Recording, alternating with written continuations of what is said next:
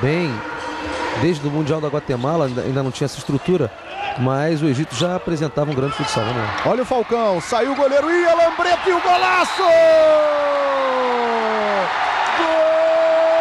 Golaço do gênio! De novo com o Lambreta e tudo para cima do Chuenta. Falcão, ele é demais, demais, demais. Toda hora ele faz essa obra-prima. Vale a pena ver de novo.